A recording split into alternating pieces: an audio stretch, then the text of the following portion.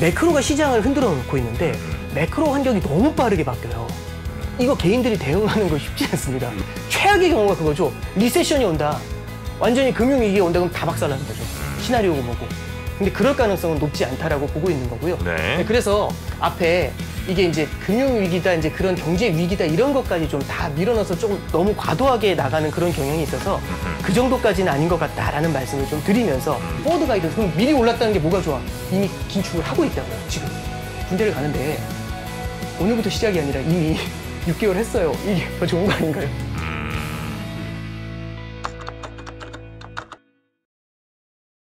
네. 네. 아, 이 목소리 참 우리 삼프로 TV 아마 오랜 시청자분들은 너무나 기대되고 흥분되고 한편으로는 편안한 왜냐하면 가장 어려운 얘기를 가장 쉽게 가어가십 우리 오건영 부부장님 아니겠습니까? 가오 뭐야? 가어가십 가장 어려운 얘기 가장 쉽게 해주시는 분이잖아요. 네, 우리 오건영 부부장님 바로 모시도록 하겠습니다. 네. 어서 오십시오. 네, 안녕하십니까. 네, 신한은행 오건영 부부장. 아니 못하는 게 뭐예요? 아, 예. 못하는 잘하는 게 거.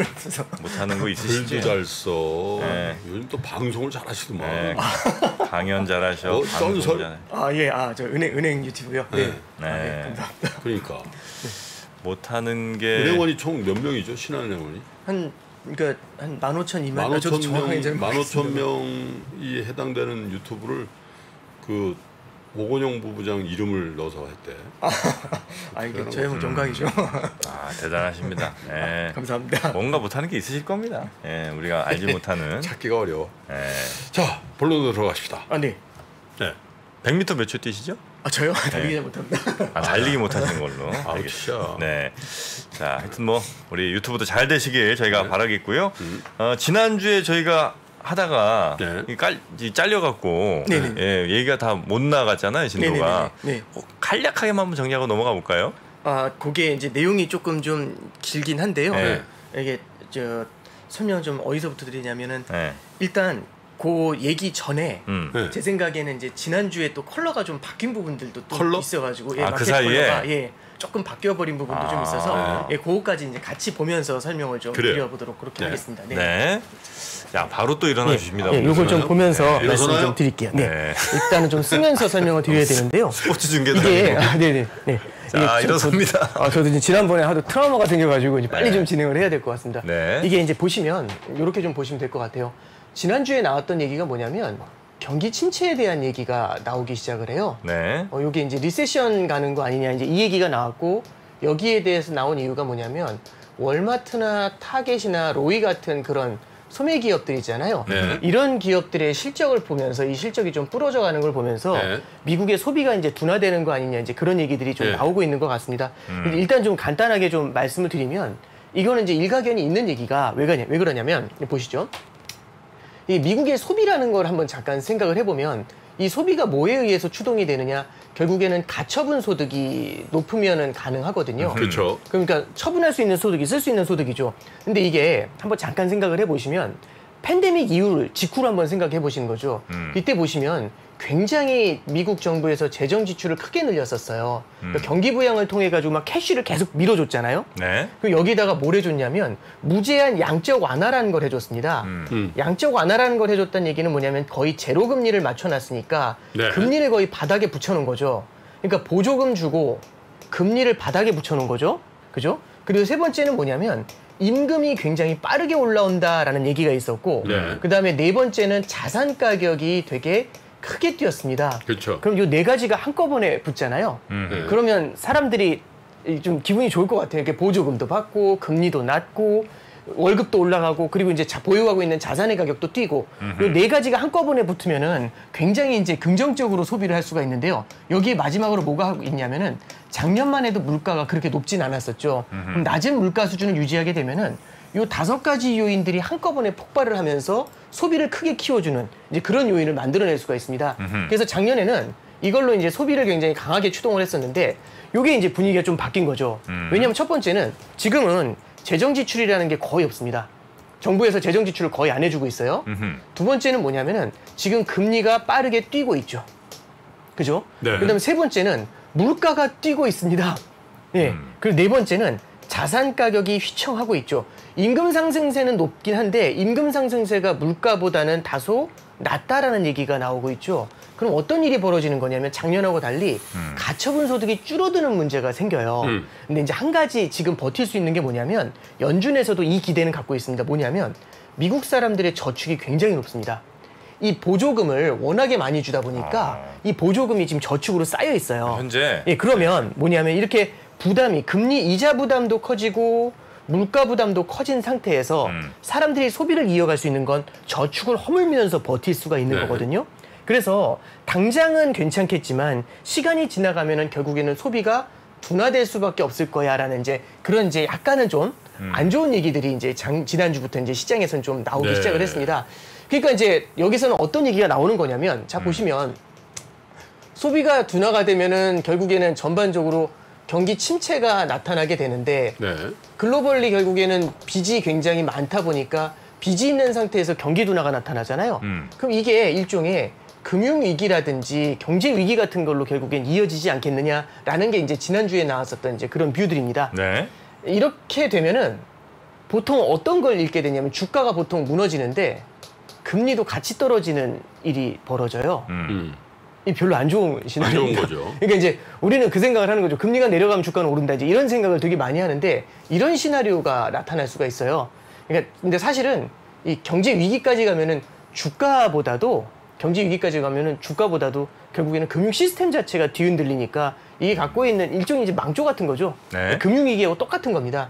근데 이제 제가 좀 간단하게 말씀드리면 일단은 연준에서는 어떤 얘기를 하고 있냐면 연착륙을 시도하겠다라는 얘기를 하고 있고 여기에 대해서 믿어달라라는 얘기를 굉장히 많이 하고 있어요. 네. 근데 시장 일각에서는 이 얘기를 하고 있다는 얘기가 금융위기 같은 얘기를 하고 있다는 얘기가 이번에 연준이 금리 인상 오바해서 해가지고 음. 결국에 이거 금융위기 만들겠네 이제 이런 이제 비관을 하고 있는 거죠. 그래서 음. 이 상대편엔 뭐가 있냐면은 경착륙이라는 게 존재하는 거죠. 음. 그러면 이제 여기서 저도 지난주에 굉장히 많이 받았던 질문이 뭐냐면 이러다 이거 연착륙이 과연 연준이 연착륙 시키는 게 가능하겠냐. 음흠. 지금 하는 거 보니까 주가도 빠지는 거 보니까 이거 어려울 것 같은데 이제 이런 얘기들이 되게 많이 물어보셨어요. 네. 근데 일단 이렇게 말씀 좀 드리는 게 좋을 것 같아요. 음. 이 연착륙이냐 경착륙이냐를 잠깐 볼 때이 음. 연착륙의 정의가 뭔지를 좀 볼 필요가 있는 것 같아요. 연착륙. 예. 저는 연착륙의 개념을 갖다 좀 이렇게 좀 크게 넓게 생각을 하면은 어떻게 생각을 하냐면 경착륙이 아닌 것이라고 좀 생각을 하고 그럼 경착륙은 뭐냐? 이게 금융 위기라고 생각을 하거든요. 음. 그러면 저는 이게 예- 여기서 얘기하는 것처럼 금융 위기와 같은 극단적인 케이스로 끌려갈 것 같다. 이렇게는 생각을 하진 않습니다. 가장 큰 이유는 과거하고 다른 게 어지간하면 연착륙 가네요? 그렇죠. 그러니까 네. 연착륙으로 이제 보고 있는 건데요. 경착륙의 가, 가능성이 이렇게 높지 않다고 보는 게 뭐냐면 음. 과거와 다른 게 있어요. 이 뭐가 다르냐면 지금 미국에 있는 은행들 있잖아요. 네. 미국의 은행들의 자본이 굉장히 튼튼합니다. 미국 그쵸? 은행권이 굉장히 건실해요. 때뭐 예. 워낙 호되게 당해가지고. 예. 그러니까 지금 이렇게 주식시장으로 흘러 들어간 자금은 직접 금융시장에서 흘러 들어간 거거든요. 그러니까 개인들이 투자하거나 기관들이 투자한 거지 은행권이 투자한 건 아니에요. 이거 잠깐 좀 보실 필요가 있는 게 네. 이거 제가 조금만 좀 부연 설명을 해드릴게요.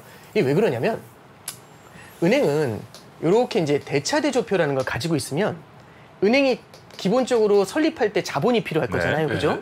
그 다음에 뭘 받냐면은 예금을 받습니다. 음. 예금은 은행한테 돈을 빌려주는 거니까 은행 입장에서는 채무가 돼요. 그렇죠. 그래서 은행은 예금을 받아가지고 부채가 되는 거거든요. 음. 이걸 가지고 대출을 해줍니다. 대출을 해주면 대출 채권을 받게 되겠죠. 음. 네. 그럼 이 대출 채권이 하나의 이제 자산이 되는 거죠, 은행에. 음. 근데 이제 이런 구조에서 문제가 되는 게 뭐냐면은 예를 들어서 빌려준 대출이 경기가 침체되면서 부실화되는 게 제일 큰 문제죠. 음. 이게 부실화가 되면은 자본이 먼저 털려나가요. 네. 자본이 털털털털 털려나가다가 나중에는 어디를 건드리게 되냐면 이 예금자들을 건드리게 되는 거죠. 근데 이 예금자가 일반적으로 기업에 뭐 대기업에 국 채권 투자하거나 이런 분들은 별로 없지만 은행 예금 굉장히 많이 하시잖아요. 그럼 얘는 굉장히 이제 서민적인 것하고도 굉장히 만나게 됩니다. 음. 그러면 은행의 자본이 부실하면 서민금융까지 다 건드리게 되는 거거든요. 음. 서민의 예금까지. 그래서 은행들한테 이 자본을 좀 두껍게 쌓으라고 얘기를 해요. 네. 서민들 입장에서 봤을 때는요, 예금자들 입장에서 봤었을 때는 은행의 자본이 두꺼운 게 하나의 방패막입니다. 음. 부실이 나더라도 얘가 두껍잖아요. 네. 음. 그러면은 이게 이게 털려나갈 이유가 별로 없어요. 음. 제일 무서운 게 뭐냐면 이게 털려나갈 것 같으면 사람들이 미리 돈을 빼줘. 음. 그 우리는 어려운 말로 뱅크런이라고 합니다. 음. 뱅크런이 일어나면 금융 시스템이 붕괴가 돼요. 근데 지금 보시면 네. 금융위기 때하고 비교할 바 안 될 정도로 자본이 굉장히 탄탄하다? 붙었습니다. 예. 네. 그러면 여기에 주는 충격이 상당히 크더라도요.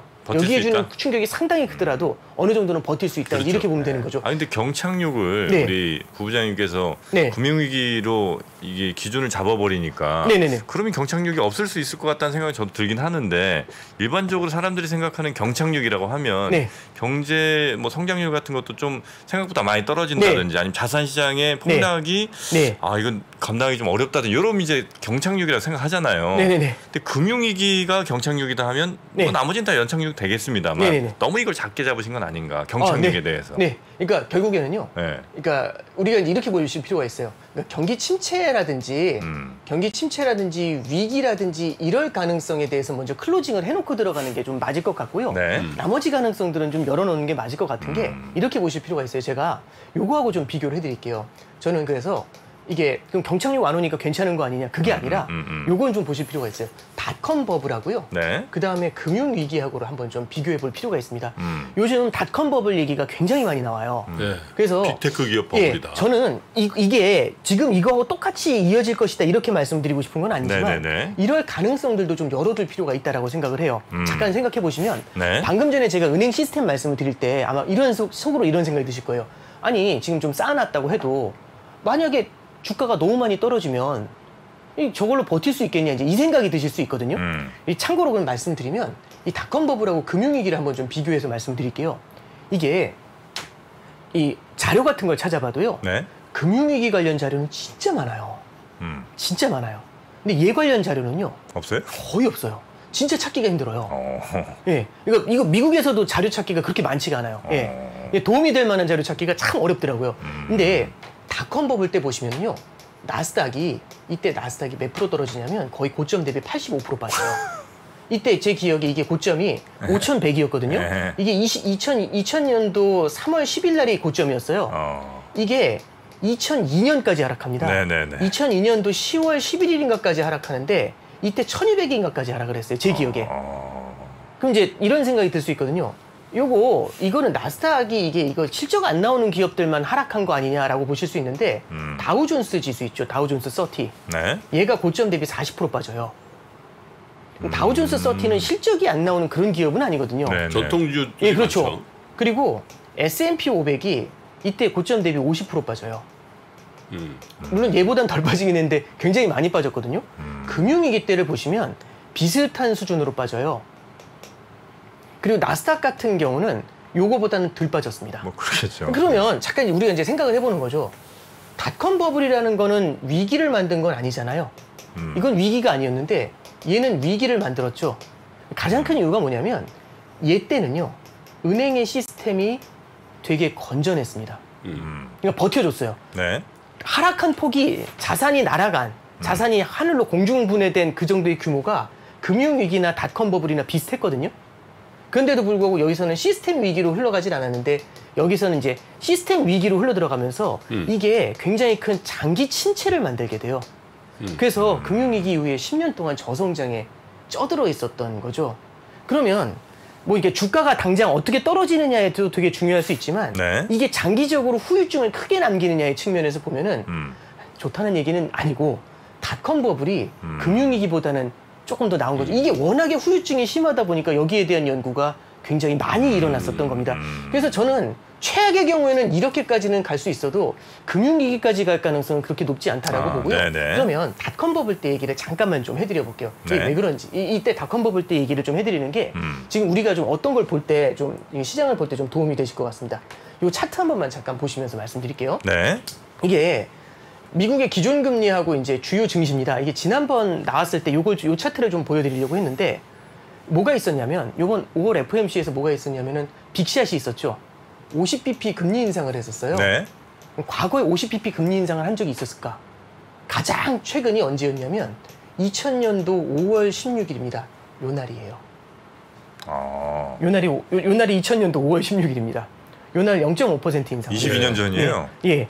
요거 요때 분위기 한 번만 잠깐 닷컴 말씀드릴게요. 버블 때네요. 네, 닷컴 버블 때입니다. 자, 여기 빨간 선이 이, 이, 파- 이 회색 선이 뭐냐면 기준금리고요. 음. 빨간 선이 나스닥이에요. 파란 선이 S&P입니다. S&P 500 지수예요. 요거 한번 잠깐만 볼게요. 요걸 어떻게 했냐면 99년도 1월 1일 날을 100으로 환산해 가지고 S&P 500 지수하고 나스닥을 갖다가 두- 동시에 다 100으로 환산해서 이게 넣는 겁니다. 자 보시면 대분기가 일어나죠. 언제 분기가 일어나냐면 99년도 한 9월 10월 정도에 대분기가 일어납니다. 나스닥이 하늘로 치솟는데 S&P는 그렇게 많이 못 가죠. 음. 이게 어떤 일이 있었냐면 금리를 인상하기 시작을 해요. 연준에서 금리를 인상하기 시작하는데 이때 당시에 4.75%였던 기준금리를 0.25씩 인상하기 시작합니다. 근데 이 정도 뛰어 올라가면은 금리를 세게 올려야 되는데 연준이 생각보다는 baby step으로 따라가기 시작을 한 거죠. 음. 이걸 보니까 이 성장주가 환호를 한 거죠. 와 이거 별거 없구나. 성장이 나오면 그러니까 금리 인상에도 불구하고 버틸 수 있는 성장주 쪽으로 돈이 몰리면서 성장주가 확 하고 뿜기 시작을 해요. 이게 IT 버블의 마지막 꼭대기였습니다. 그런 다음에 요 날이 언제냐면 아까 전에 적어드렸던 00년도 5월 10, 아니 3월 10일이에요. 2000년도 3월 10일. 음. 요날 딱 고점을 찍었죠. 이때가 5,100으로 고점을 찍거든요. 그런 다음에 수개월 만에 급락을 해요. 근데 50bp 인상하기 전에 50bp 인상한 게 5월이잖아요. 3월 달부터 급락을 해가지고 3,000포인트까지 떨어집니다. 3,000포인트 초반까지. 근데 이제 50bp 인상한다는 얘기가 나온 거죠. 네. 50bp 인상한다는 얘기가 나오니까 시장에서 어떤 반응이었을까요? 와 큰일 났다. 이게 1번. 2번. 이미 시장에 반영이 됐다. 아, 이미 무엇일까요? 시장 반영이 됐어. 이미 시장에 반영이 됐다. 선반영? 걱정할 거 없다. 음. 걱정할 거 없다. 예, 그러다가 이제 그래서 초반에는 이 50bp 인상한 다음엔 올라갔구나. 초반에는 오히려 좀 버텼어요. 그래서 4,000포인트에서 더블탑을 찍어요. 야, 저기 이제 예. 바닥 찍었다라고 예. 막 했지. 예, 그런 다음에 이제 우르르 주저앉기 시작을 하죠. 음. 이게 잠깐 보시면 요 5월 달에 0.5% 금리를 인상한 다음에 분위기를 보셔야 되는데요. 음. 0.5% 인상하면서 미국 기준금리가 6.5%까지 올라갑니다, 이때. 음. 근데 여기서 이게 끝이 아니다. 7.5까지 올라갈 것이다. 라는 얘기가 있었어요. 왜냐하면 미국 경제가 워낙에 탄탄했습니다. 음. 나스닥 주가가 하도 많이 오르니까 주식으로 돈 버는 분들이 소비를 그렇게 강하게 했답니다. 그래서 이게 식지를 않을 것 같아요. 그래서 7.5%까지는 기준금리를 인상할 것 같아요라는 게 그때 당시의 분위기였죠. 그런데 자 그러면 어디까지 금리를 올렸을까? 그날이 마지막이었습니다. 그 이후로는 금리를 올린 적이 없어요. 오히려 내려버렸네. 그렇죠. 근데 어떤 일이 벌어지냐면 불과 몇 개월 안 돼서 01년도 1월 2일 날 긴급 금리 인하를 합니다. 긴급? 예, 0.5%. 예정이 없던 FOMC였다는 예, 거죠. FOMC가 1월 20일 날 있었어요. 그때 01년도 1월 20일 이게 정례예요. 음. 근데 중간에 너무 경기가 빠르게 주저앉으니까 긴급 금리 인하를 단행을 하게 되죠. 근데 여기 한번 잠깐 보시면 어떤 일이 벌어진 건지 한번 잠깐 보여드릴게요. 여기 차트를 한번 잠깐 보시면은요. 네. 주가가 너무 많이 빠지죠. 음. 근데 나스닥 주가가 굉장히 많이 올라가서 사람들이 소비를 늘렸기 때문에 이게 탄탄한 경기를 지탱을 해주고 있었던 거잖아요. 음. 근데 나스닥 주가가 너무 크게 빠집니다. 네. 그럼 소비가 둔화가 되겠죠. 음. 그러면서 경기가 주저앉기 시작을 하는 겁니다. 음. 경기가 주저앉기 시작하니까 2000년도를 중심으로 해가지고요 마켓의 칼라가 바뀌기 시작을 해요. 첫째는 이때부터는요 성장의 둔화를 읽어요. 시장이 성장의 둔화를 읽으면 이때는 나스닥이 빠졌죠. 네. 성장의 둔화를 읽고 난 다음엔 S&P가 같이 빠집니다. 음. S&P가 2000년도엔 거의 안 빠졌어요. 음. S&P가 다우존스도 안 빠졌어요. 네. 이때는요 나스닥 성장주 있죠. 많이 올랐었던 성장주의 valuation 조정이었던 거죠. 금리 때문에. 근데 이후에 금리 때문에 팡 하고 바람이 터지면서 풍선이 터지면서 바람이 세니까 그다음에 성장이 무너지기 시작을 하니까 이렇게 S&P가 같이 흘러내렸었던 예, 그런 기억이 있습니다. 그러면 우리가 이제 어떤 것들을 되게 많이 기어, 기대를 하시냐면 이제 경기 침체는 나의 친구 이렇게 말씀하시는 분들이 가끔 계세요. 왜냐하면 경기 침체가 오면 금리를 내릴 거고 음. 금리를 내리면 주가는 오를 거고 음. 이 기대를 되게 많이 하고 계시거든요. 금리를 6.5에서 1.0까지 내렸어요. 음. 2년간 쫙 내렸거든요. 기준금리. 후, 그러죠. 예. 성장에 바람이 빠지면 이렇게 됩니다. 성장에 바람이 빠지면. 아 근데 이건 페북, 경계를 해야 돼요. 페북에 저, 네. 저 읽다 보니까 double dragon이라는 네. 말을 썼던데 네. 그와 관련 있어요? 아, 그거하고도 관련이 있습니다. 네. 네, 제가 한번 그거 요, 요거 얘기를 그래서 조금만 좀 해드려 볼게요. 네. 이게 왜 그러냐면 잠깐 보시죠. 어, 최근 차트를 하나 좀 보여드려 볼게요. 음. 이게 보통 제가 요, 요, 말- 요 말씀 좀 드리고 싶은 게 이제 요거 정리를 좀 해서 말씀드려야 될 것 같은데요. 이게 이제 언제적부터냐면 2020년도 1월 달부터 주가하고 나스닥 지수하고 미국 10년 금리를 갖다가 같이 좀 적어 놓은 거예요. 네. 여기 보시면 요 파란색 선 요게 나스닥입니다. 음. 그리고 요 빨간색 선이 미국 10년이거든요. 근데 이게 잠깐 보시죠. 요때가요. 요때가 음. 코로나 때입니다. 네네. 그래서 시장이 디플레이션, 경기 침체를 읽어요. 금리하고 주가하고 같이 빠지죠. 음. 근데 이후에 어떻게 되냐면 연준이 양적 완화로 금리가 올라가는 걸 묶어요. 음. 그럼 금리가 묶여버렸죠. 묶여버리니까 금리는 옆으로 기죠. 네. 근데 주가는 날아가기 시작을 합니다. 근데 20년도 8월, 9월부터는요. 어떤 패턴이 나타나냐면 연준에서 연준에서 추가적인 지원을 조금씩은 줄여나가기 시작을 하니까 금리가 이렇게 살짝 올라가기 시작을 해요. 음. 그러니까 금리에 민감한 나스닥이 이때 옆으로 기죠. 이게 20년도 9월의 조정입니다. 네. 아마 요거 저기 시황하시는 분들이 나와서 많이 말씀을 하실 거예요. 네. 20년도 9월의 조정이 요때가 12,000번이었어요. 음. 여기서 한번 맞았어요. 근데 이후에 어떻게 되냐면 20년도 11월 달에 바이든이 등장을 하고 음. 바이든 당선이 되고 그다음에 백신이 나왔잖아요. 그러면서 성장이 세게 나올 거라는 생각이 드는 겁니다. 음. 그러면 금리가 올라가도 상관없어요. 성장이 세게 나오면 주가가 달려가죠. 이렇게 되는 거죠. 근데 이후에 어떻게 되냐면 21년도 상반기 정도 됐을 때 여기서 이제 금리가 어느 정도 굉장히 높게 올라갔잖아요. 음. 그러니까 시장이 좀 긴장을 할 때 연준에서 이런 얘기를 합니다. 요거 물가 상승은 일시적이야. 일시적이라고 하니까 채권도 믿었죠. 음. 그런가 하면서 금리가 내려와요. 주가는. 와 날아가기 시작을 하죠. 아 이게, 이게 제일 아름다운 그림입니다. 이게 작년도 요 4월, 5월 조정 이후에 하늘 날아갔었던 이제 가장 큰 핵심입니다. 근데 이게 21년도 10월 달부터 10월 달, 11월 달부터 무슨 얘기를 하냐면 9월 달부터 네. 어 이거 인플레이션이 심상치 않은데라고 얘기를 하는 거죠. 음. 그러니까 주가가 금리가 올라가서 주가가 빠지죠. 네. 근데 지난주부터 다르게 흐름이 나타나요. 뭐냐면 성장이 둔화될 것 같은데 이러면 음. 금리가 내려가는데 주가가 빠지는 모습이 나타날 수 있습니다. 음. 자, 그래서 요거를 최근 분기 관련주니 보여드릴- 뭐 이런 것들 빠지는구나. 그렇죠. 그래서 요거를 조금만 앞으로 당겨서 하나 보여드릴게요. 음. 요게 그래서 판을 보실 때 되게 중요하실 것 같아서 좀 가져온 건데요. 요게 21년도 9월 달부터 해가지고 다시 그린 거예요. 네. 보면은 금리가 쭉 올라가고 있죠. 음. 전체적으로 금리는 올라가는데 주가는 빠지죠. 그죠? 이게, 이게 빨간 선이 금리예요. 금리는 올라가는데 주가는 빠지죠. 네. 이게 왜 그러냐면 금리 물가가 오르니까 금리를 올리고 금리를 올리니까 주가가 valuation 조정이 된다. 이제 이런 논리예요. 가장 많이 본- 보신 논리입니다. 근데 중간중간 이상한 그림 나와요. 언제 나오냐면 최근에 보시면 요렇게 요렇게 금리가 내리죠. 다시 그래, 다시 보여 드릴게요. 금리가 살짝 내리죠. 네. 근데 주가가 내려요. 전체적인 패턴은 주가는 내리고 금리는 올라가는 패턴이거든요. 음. 근데 여기서는 금리가 내리고 주가가 내려요. 같이 내려요. 네. 요 그림이 언제 나왔냐면 요때 한 번 있죠. 금리가 내리고 주가가 내려요. 요때 언제인지 아세요? 요게 러시아 우크라이나 전쟁 때문에 아. 극도의 경기 침체 읽을 수 있다라고 음. 해요. 네, 네, 네, 네. 네. 유가가 크게 뛰었다가 훅 주저앉아 버려요. 음. 이거 계속 가면 큰일 난다고. 음. 요두 번 읽어요, 요거. 요게 나타나면, 요게 나타나면 금리가 내려가도 답이 없습니다. 음. 이러면 주식 시장이 흔들릴 수 있어요.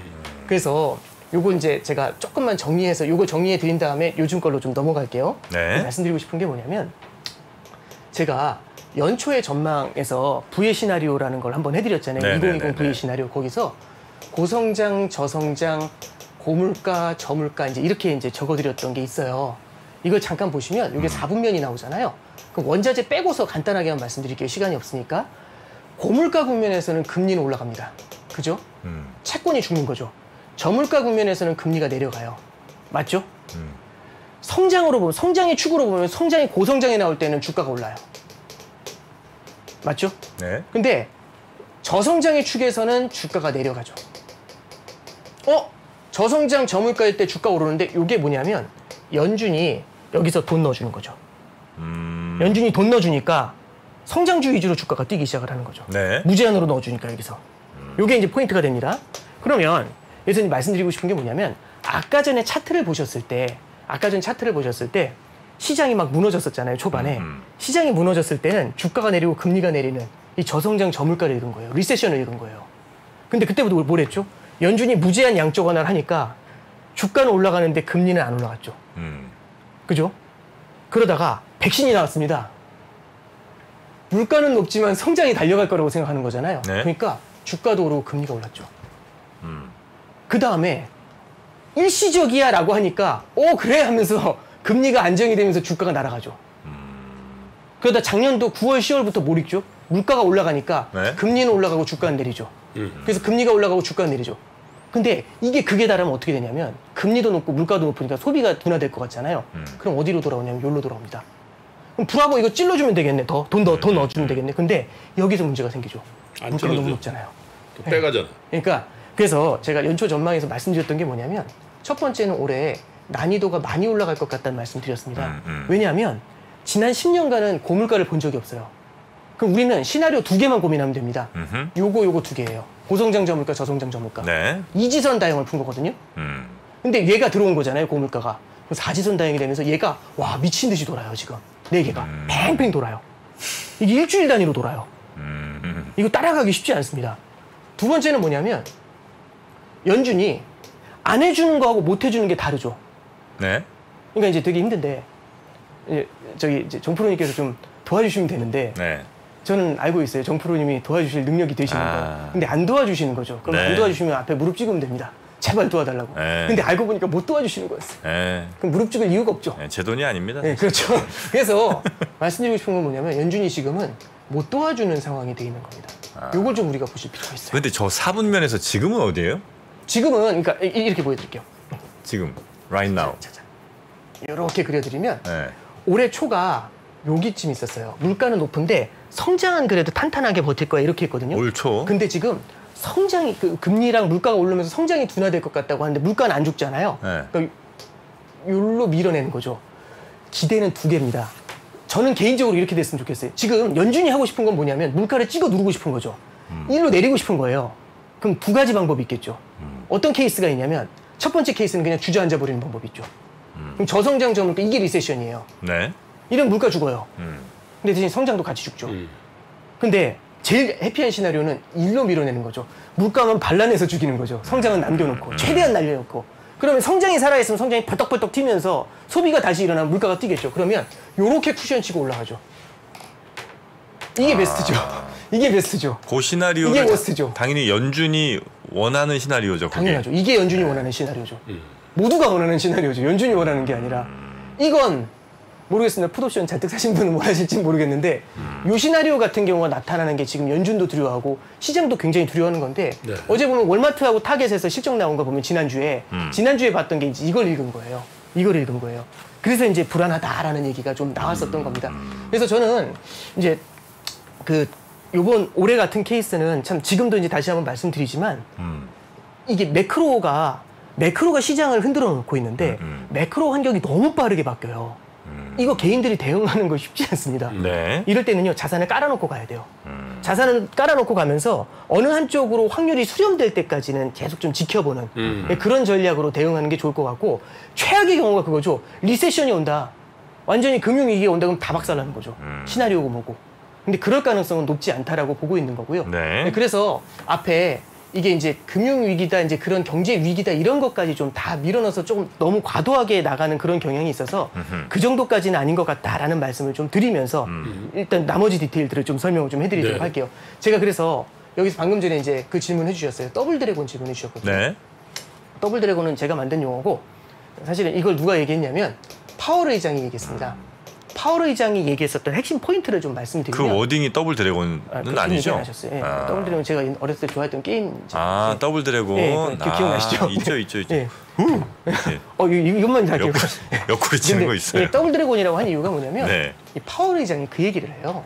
파월 의장이 어떤 컨퍼런스에 참여를 참석을 했었을 네. 때 볼커라는 분이 있어요. 네. 예전에 이제 70년대, 80년대 그 인플레이션을 제압했던 사람. 네. 이 볼커에 대한 얘기를 하거든요. 음. 이 볼커에 대한 얘기를 할 때 볼커가 왜 위대하냐면 두 마리의 용과 싸웠던 얘기를 해요.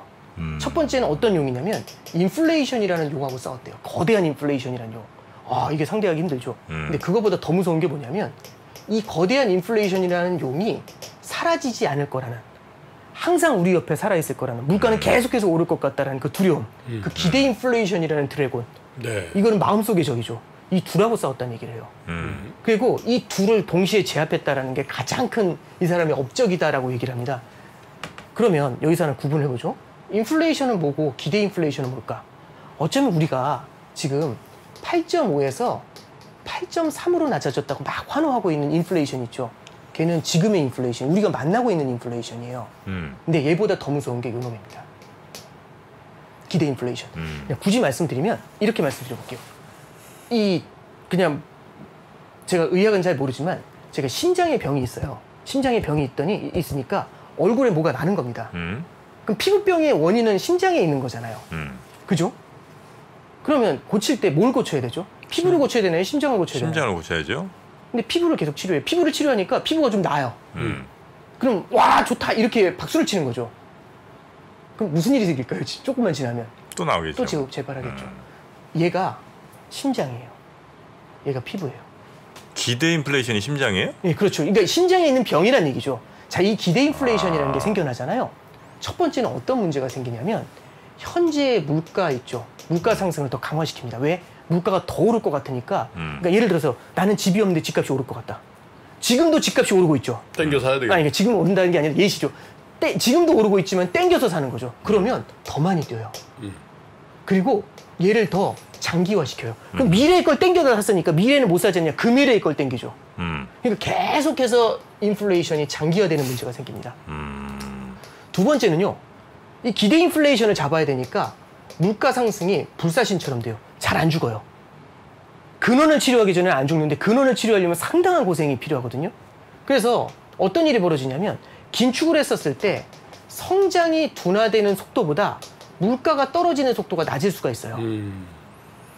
이게 되게 중요한 표현인데 음. 예전에는요 성장이 주저앉을 때 물가가 동시에 주저앉거든요 이러면 연준이 경기 부양을 해줄 수 있어요 음. 근데 성장이 내려오는 속도 성장이 내려오는 속도 가 되게 빠른데 물가가 내려오는 속도가 낮잖아요 네. 이 8%에서 내려오는 속도가 2%까지 내려와야 되는데 음. 이 속도가 너무 낮으면 성장이 주저앉음에도 경기 부양을 하려고 들어가는데 여기 발이 묶여 있는 거죠 어 하고 음.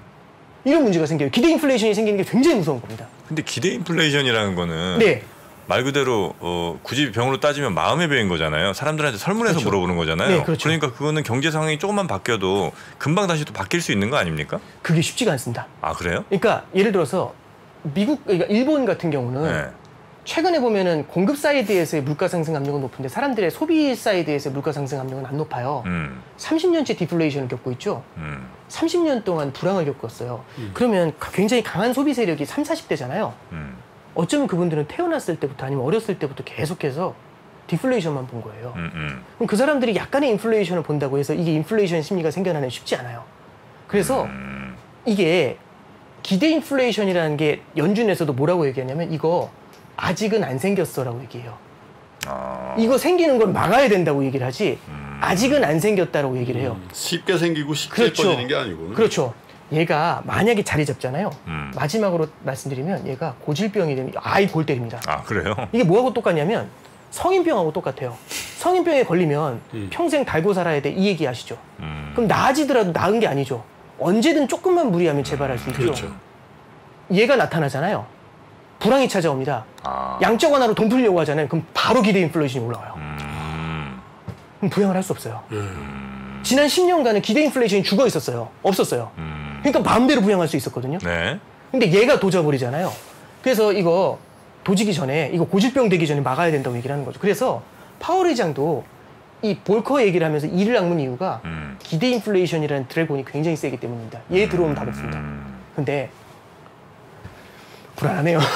이- 근데 이제 5월 FOMC 얘기를 이제 해드릴게요. 음. 5월 FOMC 때 무슨 얘기가 나온 거냐면 파월이 네. 75bp를 갖다가 테이블에서 내리겠다고 얘기를 해요. 음. 이 정도 인상은 오바라고 얘기한 거죠. 그랬더니 시장에서 어떻게 반응하냐면 만약 이렇다면 연준이 이 모양으로 한다면 연준이 이 모양으로 한다면 물가 상승은 계속해서 이어질 것이고 음. 그렇게 됐었을 때는 연준이 오히려 더 매파적인 흐름을 가져갈 수밖에 없을 테니까 주가는 빠진다. 이제 이렇게 돼버린 거죠. 음. 음. 예, 이게 문제예요. 예를 들어 이런 거. 이, 이 뭐하고 똑같냐면 이런 거죠. 제가 이제 이런 거죠. 저, 저는 명문대 갈 겁니다. 명문대? 그럼 어떻게 갈 건데? 뭐든지 할 겁니다. 믿어주십시오.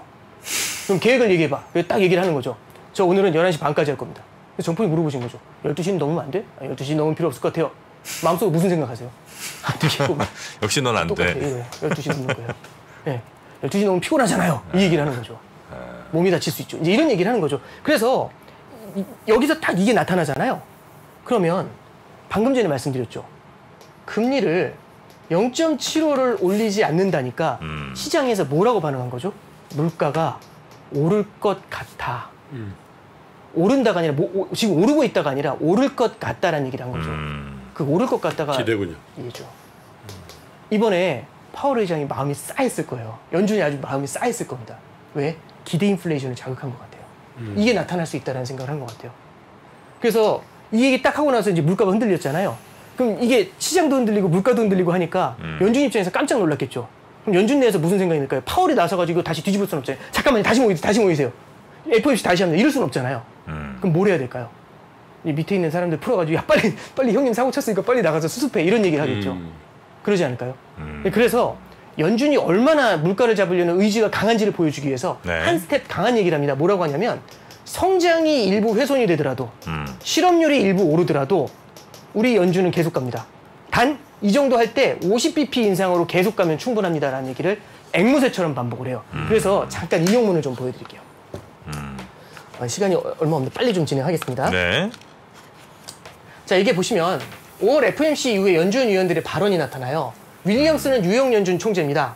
윌리엄스는 뉴욕 연준 총재인데 뭐라고 얘기하냐면 50bp 인상 고려해야 된다. 괜찮다고 얘기하고요. 뭐라고 얘기하냐면 금리를 인상하면서 실업률이 다소 올라갈 수 있다. 음. 지금 실업률이 계속 내려오고 있거든요. 여기서 조금 올라가는 게 중요한 게 아니라 이 방향을 바꿀 수 있어요. 네. 그럼 요거는요. 마일드한 침체 정도 나타날 수 있다고 얘기를 하는 거죠. 음. 두 번째는 메스터 총재라는 사람입니다. 메스터 총재는 뭐라고 하냐면 50bp 인상은 타당하다. 그러면서 뭐라고 하냐면 실업률이 약간 상승하고 마이너스 성장이나 경기 둔화가 나타날 수 있지만 음. 이런 얘기를 해요. 그리고 마지막으로 월러 이사는 뭐라고 얘기하냐면 그때처럼 급격한 80년대처럼 급격한 경기 침체를 유발하지는 않을 것이다. 뭐 급격한 경기 침체는 아니지만 마일드한 침체는 나타날 수 있다는 얘기죠. 이게 언제 했냐면 5월 11일 날 했고요. 5월 11일 날 했고요. 5월 11일 날 했어요. 받은 급하셨네요. 거네. 급하신 날 동시에 셋이 쏟아낸 거죠. 그리고 딱 이틀 후에 이틀 후에 파월 의장이 등장하십니다. 음. 파월 의장이 등장해서 뭐라고 얘기하냐면 여태까지 안 했던 얘기를 해요. 미국 경제의 연착륙을 보장할 수 없다. 이렇게 나와요. 연착륙을 보장할 수 없다. 그러면서 이제 이게 굉장히 공격 고- 그 경기를 갖다 침체시키지 않으면서 물가를 잡는 게 공격적인 과제다, 어려운 과제다라고 얘기를 하고요. 마지막으로 그런데도 불구하고 가격 안정성 복원, 그러니까 기대 인플레이션을 잡는데 우리는 포커스를 둬야 된다. 음. 이제 이런 얘기를 하고 있는 겁니다. 그래서 이제 5월 FOMC를 바라보면서 연준이 싸하다고 느낀 게 뭐냐면 기대 인플레이션이 올라오는 거. 그러니까 두 마리의 용이 한꺼번에 살아나는 거 있죠. 음. 용이 한 마리가 아니라 두 마리가 돼버리는 거. 마음속에 용을 잡는 거. 이게 이제 굉장히 큰 이슈가 됐다. 이제 이렇게 좀 생각을 해주시면 될것 네. 같습니다. 네. 우리 오건영 부부장님. 결국 이제 인플레가 아주 핵심인 것 같은데 뭐 좋은 얘기는 없습니까? 아, 좋은 기, 얘기가 핵심. 오랜만에 예? 네. 기대 기대 가질 만한 좋은 네. 얘기. 네. 저기 제가 좋은 얘기가 좀 아니 있어요. 없는 거 일부러 만드실 필요 없고 네, 예, 좋은 얘기가 있는데 시간이 별로 없지만 좋은 얘기 그냥 간단 간단하게만 해드릴게요. 네. 첫 번째는 뭐냐면 이- 여기서 또 이제 다들 싫어하실 것 같은데 forward guidance라는 게 있습니다. 네. 이거 포인트입니다. forward guidance라는 게 이게 뭐냐면 선제적으로 가이드를 주는 거예요. 선제적으로 가이드를 주는 거예요. 음. 월러하고 불라드라는 분들이 있습니다. 음. 저 9시까지 해도 되죠. 네, 뭐 조금만 시간 좀 주세요. 정도? 네, 월러하고 불라드라는 사람이 있습니다. 네. 둘이 매파의 투톱이죠. 네. 이제 두 분 다 유명해졌어요. 근데 이 투톱이 한 번은 언제 이제 FMC 끝난 다음에 5월 FMC 끝난 다음에 한 번은 저기 후보 연구소라는 곳에 끌려 나갔어요. 네. 후보 연구소에서는 주제가 뭐냐면 연준과 인플레이션 이게 주제예요. 느낌이 어떠세요? 연준 사람인데 연준과 인플레이션이 주제예요. 까겠구나. 나가기 싫지. 너네 제대로 안 했구나 이제 이거죠. 근데 매파에 거두 두 명이 나갔잖아요. 지금 인플레이션 잡아야 된다고 난리를 부리는 이 사람들이 무슨 얘기를 할까 되게 궁금했거든요. 어떤 얘기를 했는지 잠깐 들려드릴게요. 여기 기, 기사 보시죠. 뭐라고 나가냐면 크리스토퍼 월러 이사하고 제임스 블라드가 나가서 뭐라고 했냐면 후버 연구소 주최 통화 정책 컨퍼런스에서 올해 연준이 인플레이션을 억제하는 데 도움이 될 새로운 도구 즉 forward guidance를 가지고 있다고 말했다. 어? 음. 갑자기 이게 뭐지? 이 느낌이 오죠. forward guidance. 폴 볼커 80년대에는 forward guidance가 없었대요. 근데 지금은 forward guidance가 있다고 얘기하는 겁니다. 여기 보시면 예를 들어 연준은 올해 3월까지 기준금리를 인상하지 않았죠. 그래서 3월에 0.25 올린 게 처음이에요. 음. 근데 중앙은행은 금리 인상을 시작하기 위해 작년 9월부터 forward guidance를 사용했대요. 작년 9월부터 금리를 인상할 거라고 으름장을 놨다는 얘기죠. 밑에 보시면 그는 월러 이사예요. 연준의 guidance가 음. 2년물 국채 금리를 9월 말에 0.25 수준이었대요. 국채 금리가. 얘를 12월 말에 0.75로 올렸답니다. 자, 보세요. 음. 국채 금리입니다. 기준 금리가 아니라 기준 금리를 안 올렸는데 12월 말에 이미 올라갔죠. 음. 그래서 뭐라고 얘기하냐면 원로 이사가 말하죠. 이는 금융시장에 영향을 주기 위해 정책 금리를 25bp씩 두 번 인상하는 것과 같다. 이게 뭐냐면 9월, 12월에 금리를 인상하지 않았지만 인상한 거란 얘기입니다. 음. 사실상 그 효과를 줬다는 얘기예요. 음. 때리지 않고 때렸다는 얘기죠. 그러니까 말로. 시중금리를 올렸다. 그렇죠. 말로 말로 사람 잡았다는 얘기죠. 음. forward guidance를 통해서 보면 작년 9월부터 사실상 금리 인상이 시작됐다고 본다면 그, 그, 저 물어보는 사람, 갈구는 사람들도 얘기한 거죠. 우리가 과연 얼마나 뒤처져 있을까라고 지적했다. 뒤- 뒤처져 있을까요? 라고 얘기했겠죠. 설마. 반말을 안 했겠죠. 음흠. 자, 밑에 보시면 블라드 총재도 거의 거들어요. 뭐라고 하냐면 더 멋있게 얘기하죠. 현대중앙은행은 70년대보다 훨씬 신뢰할만 하며 forward guidance를 갖고 있다. 기준금리 인상 전에 시장금리가 상당히 올랐음을 지적해요. 음. 이게 블라드가 이제 그래서 여기서 뭐라고 하냐면 블라드가 내가 그렇게 난리를 부린 이유도 forward guidance로 미리 금리를 끌어올리기 위함이다라고 얘기를 해요. 자 그럼 여기서 포인트가 뭐냐면 작년 9월에 무슨 일이 있었는지 보는 거죠. 작년 9월. 예, 작년 9월 차트 한번 볼게요. 차트 한번 볼게요. 네. 이게 파란 선이 기준금리입니다. 파란 선이. 빨간 선이 미국 2년짜리 금리예요. 언제부터 그렸냐면 15년도 1월부터 그려요. 음. 15년도에 미국 기준금리 올린다는 얘기가 있었거든요. 올리기 전에 시장금리가 먼저 올라요. 네. 근데 시장이 하도 흔들리니까 미안해 안 올릴게라고 하니까 내려와요. 시장금리는 기준금리는 중앙은행이 결정하지만 시장금리는 시장이 결정합니다. 네. 중앙은행이 그다 음부터 금리를 올릴 것 같으니까 따라서 먼저 올라가죠. 근데 자 보세요. 기준금리는 하루짜리 금리예요. 얘는 2년짜리 금리죠. 이 둘의 갭을 보세요. 이 갭을 보세요. 둘의 갭. 요정 요정 소- 제 손으로 하면 요 정도 나오죠. 네. 손가락 장난 안 쳤습니다. 요 정도 나오죠. 근데 계속 이렇게 움직이다가 여기 한번 보세요. 여기 한번 보세요. 작년 9월이 요때입니다. 어때요? 뭐가 와 올라오죠. 기준금리예요. 지금 보면 차이가 이만큼 나요. 저 아까 전에 손가락 장난 안 치면 요 정도죠. 음. 일반적으로 벌어지는 것보다 헐 벌어져 있죠. 아니 이거는 선반영하는 거 아니야. 선반영하면 요 정도 벌어져요. 요 정도보다 훨씬 높죠. 느낌이 오세요? 이런 겁니다. 우리 금리를 올릴 겁니다. 이거 하고요. 음. 금리를 2.5까지 올릴 겁니다. 이건 달라요.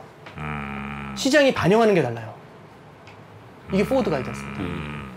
그러면 forward guidance 그럼 미리 올랐다는 게 뭐가 좋아? 이미 긴축을 하고 있다고요. 지금 이 회초리로 때리고 있다고요. 지금 그러니까 뭐냐면 우리는 얘가 올라오면 어떡하지? 얘가 올라오면 이게 더 올라갈 거라고 생각하잖아요. 그게 아니라 이미 이 회초리로 때리고 있다고요. 시장을. 그럼 안 좋잖아. 그게 아니라 이런 거죠. 군대를 가는데 오늘부터 시작이 아니라 이미 6개월 했어요. 이게 더 좋은 거 아닌가요? 음. 똑같나요? 이게 똑같다고 할 말은 없는데 하나 더 6개월 했으면 적응은 좀 되죠. 네, 네, 네, 네. 다르지 않나요? 그러니까 지금 막 시작하는 거하고 6개월 한 거하고는 다르죠. 그러니까 사실상 뭘 얘기하고 있는 거냐면 forward guidance를 통해서 상당 부분은 시장이 앞에서 땡겨서 반영하고 있다는 겁니다. 그리고 그래서 블라드 총재가 얼마 전에 이 얘기를 해요. 지금 시장이 굉장히 많이 반응을 했기 때문에 음흠. 지난주 이제 금요일 날 한 얘기입니다. 토요일 날한 네, 얘기입니다. 네. 시장이 어느 정도 굉장히 잘 반영했기 때문에 더 앞당겨져서 인플레와 인플레와 인플레 기대를 억제할 수 있다면 그만큼 상황 개선도 진행된다. 음. 2023년과 24년은 인플레가 확실하게 억제돼서 정책 금리를 인하할 수 있다. 이 얘기를 해요. 음. 블라드가 한 얘기예요. 그래서 내가 블라드를 인터뷰 하려고 그랬잖아. 아, 이, 아, 이- 이분은 래퍼가 아니라 유연한 네, 사람이에요. 네. 그러니까. 제일 먼저 움직여요. 그러니까. 그러니까, 올해가 2022년입니다. 오해하시면 안 되는 게. 근데 이제 2023년 얘기까지 하죠. 네. 그래서 제가 그냥 간단하게만 정리를 해드리면 인플레가 고질병이 되면 안 됩니다. 뒤에 부양을 할 수가 없어요. 네. 지금 죽여야 돼요. 그래서 지금 기대 인플레를 잡으려고 굉장히 열심히 싸우는 거거든요. 음흠. 시장을 죽이려고 싸우는 게 아니라 그래서 지금 단, 단기 간 어렵겠죠. 그래서 이걸 이렇게 해석하는 게 좋지 않을까 싶은데 뭐냐면 이보 전진을 위한 일부 후퇴 네, 그런 관점에서 좀 해석하는 게 좋을 것 같습니다. 네. 그래. 나, 나중에 또 내용, 내용 들이 좀 깊이는 네. 많은데 천천히 또 말씀드리겠습니다. 알겠습니다. 자, 오늘 함께 해 주신 오건영 부부장님 얼른 들어가십시오. 고맙습니다. 네, 감사합니다. 네. 저희 신과 함께해서 가장 고정 팬층이 탄탄한 음. 바로 그 프로그램이죠. 전 세계 이야기 돌아다니면 아 정말 내가 무식하고 무식하고 무식하구나. 아이 뭐또 그럴 필요는 없죠. 그래도 음. 음, 이렇게 또 알다가 또 오른쪽 귀로 들어가면 또 왼쪽 귀로 흘러나가는 게 저희 음. 기억력이고 또 인생이지 않습니까?